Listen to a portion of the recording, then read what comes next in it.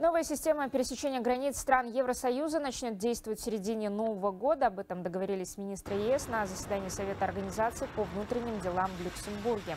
Система въезда-выезда будет регистрировать биометрические данные граждан государств, не входящих в ЕС и пребывающих в шенгенскую зону свободного передвижения. Сканирование лица и данные отпечатков пальцев путешественников будут храниться в течение трех лет после каждой поездки.